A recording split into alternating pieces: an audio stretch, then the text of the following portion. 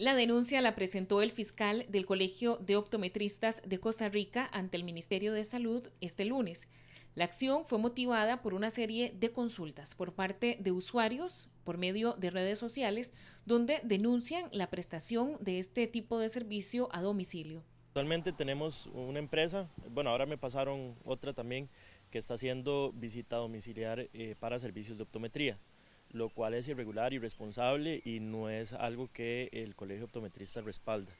También por el tema del de, reglamento del Ministerio de Salud con respecto al COVID-19, eh, para evitar aglomeraciones, este tipo de servicio jamás podría ser. De todos modos, aunque no existiera el, el tema del COVID-19, eh, no se puede hacer un tipo de examen en una casa porque no reúne las condiciones para hacer un examen clínico de optometría como tiene que ser.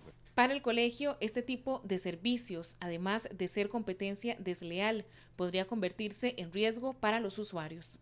Mientras tanto a la población le hacemos un llamado que por favor si llegan este tipo de anuncios de visita domiciliar o visita a casa, eh, que por favor omitan este tipo de, de, de publicidad, ¿verdad? Porque probablemente su examen no sea asertivo, se salten muchas cosas, eh, haya muchos, muchos problemas en el camino, ¿verdad?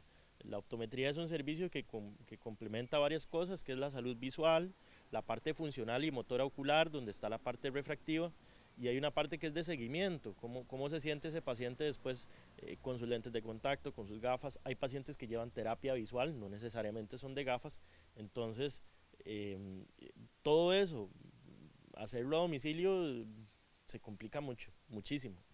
El servicio a domicilio puede convertirse en un foco de contagio de COVID-19.